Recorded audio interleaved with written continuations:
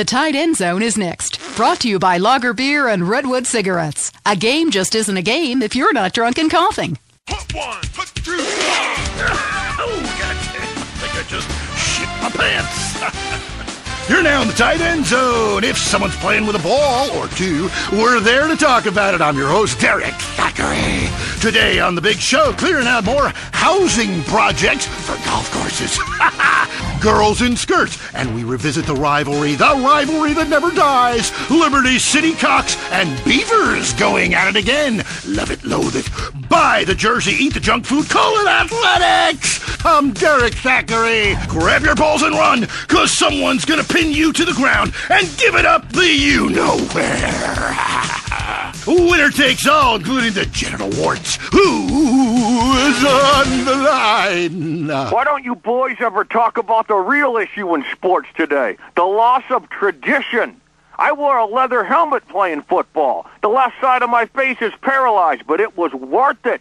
We won the game. I mean, my boy goes to high school, right? And he's actually given a choice of different sports to play. And there's only one sport. I know it's ruining this country's traditions and history. I mean, I want him to be a big sports star so I don't have to work no more and he can afford all the drugs and hookers he wants. And he's only gone and started playing lacrosse. Ooh, look at me. I'm carrying my bag on a stick and wearing a skirt. Might as well teach my boy to hunt butterflies. Okay, I guess you're right or wrong. it all depends how you look at things. Any race fans out there? Hey, any football fans? Soccer fans? Go home! We don't want you here! Your game is terrible, and we don't win at it. Next caller. Hi, Derrick. My name's Cole, and I'm a big racing fan. I tell you that where I'm from, there's nothing more exciting than getting shit-faced and going deaf in 110 degree heat and watching cars go in a circle for several hours. Yeehaw! Yeah, hey, I think that's what it's all about. Uh, that and putting a lot of stickers on your car, buddy. Yeah, that really gets on my nerves. I mean, I'm a bald man. My wife left me because of it, and half the cars are sponsored by baldness remedies.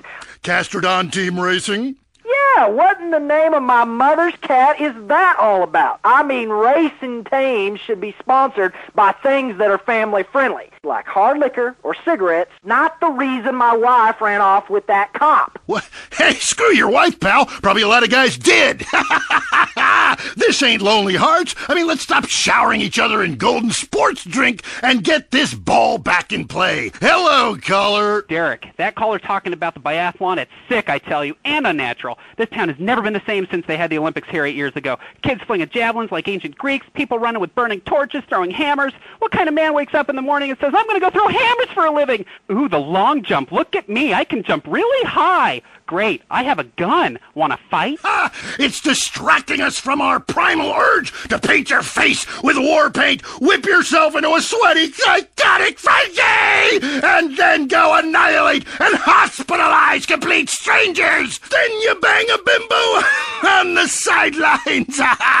bang, bang, bang. Look, I loved high school football, and I love gymnastics. Hey, Jack from Idlewood in Los Santos. Yeah, how come you don't talk about the best sport of all, horse racing? I mean, tiny, angry people on horses? How can you go wrong?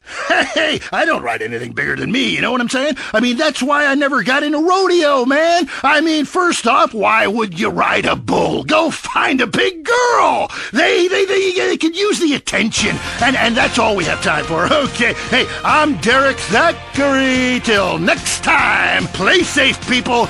Go, baby, go team! You're listening to WCTR. Or maybe you aren't. Maybe you became so offended that the tight end zone has no female callers that you changed stations. I know I would, and have. I'm not here anymore.